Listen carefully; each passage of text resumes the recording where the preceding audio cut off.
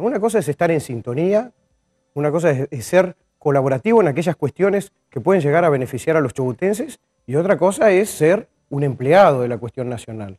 Y la verdad que no, yo no me considero ningún empleado de absolutamente nadie de Nación, no respondo a nadie de Nación, y, cuando me preguntan lo que digo es lo siguiente, tampoco me hago el que soy el que va a estar del otro lado, sino toda aquella cuestión que beneficie a Chubut, lógicamente que si me toca ocupar un cargo en el Senado, van a contar conmigo. Ahora, aquella cuestión que no le genere un beneficio a Chubut, no. De hecho, va a ser muy simple. Fíjese que creo que somos los únicos que si llegamos, no los únicos, ¿no? porque también está el Partido Independiente de Chubut, pero si llegamos a ocupar una banca dentro de lo que es el Senado eh, o la Cámara de Diputados, en el caso de Puratich, nosotros conformaríamos un bloque propio, un bloque perteneciente a la provincia del Chubut.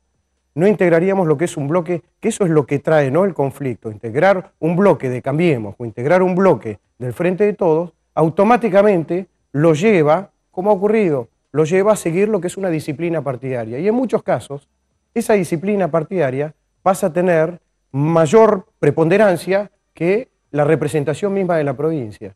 No lo podemos permitir más. En el Senado, a diferencia de la Cámara de Diputados, un voto hace la diferencia.